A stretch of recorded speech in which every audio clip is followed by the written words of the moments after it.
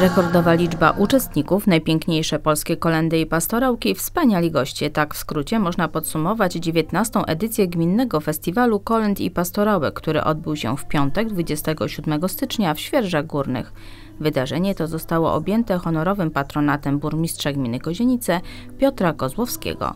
Przybyłych powitała dyrektor placówki Małgorzata Wolszczak, a festiwal swą obecnością zaszczycili burmistrz Piotr Kozłowski, dyrektor Wydziału Edukacji w Urzędzie Miejskim Robert Boryczka, radny Rady Miejskiej Marcin Ogórek, ksiądz proboszcz Andrzej Mizak, emerytowana nauczycielka szkoły, pomysłodawczyni festiwalu Janina Głuszek, sołtys Świerży Górnych Janina Golik oraz przedstawiciele Rady Rady Rodziców na czele z przewodniczącą Agnieszką Górską. Obecnie byli też opiekunowie oraz rodzice uczestników. W tym roku festiwal cieszył się wyjątkową popularnością wśród uczniów ze szkół podstawowych z terenu naszej gminy. W trzech kategoriach wiekowych zaprezentowały się ponad 40 wykonawców. Byli to soliści, duety i zespoły. W sumie w konkursie wzięło udział 108 uczniów z 11 szkół podstawowych. Wykonywali oni zarówno tradycyjne polskie kolendy i pastorałki, jak i te bardziej współczesne utwory nawiązujące tematycznie do świąt i klimatu Bożego Narodzenia.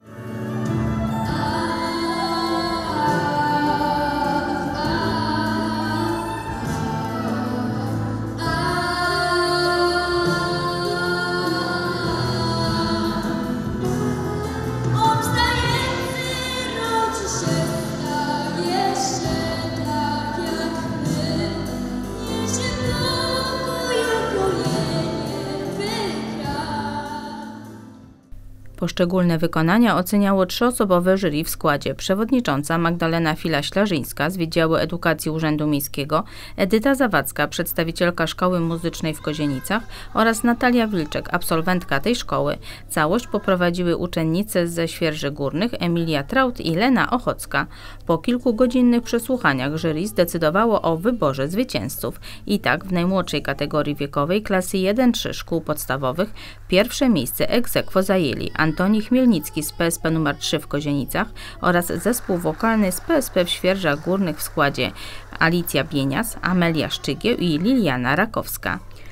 Drugie miejsce egzekwo zajęli Marcelina Banachowicz z PSP w Ryczywole oraz zespół wokalny ze Świerży Górnych w składzie Lena Dyga, Monika Strąg, Emilia Krześniak, Wiktoria Wojtala, Karina Kwaśnik, Zuzanna Wójcik.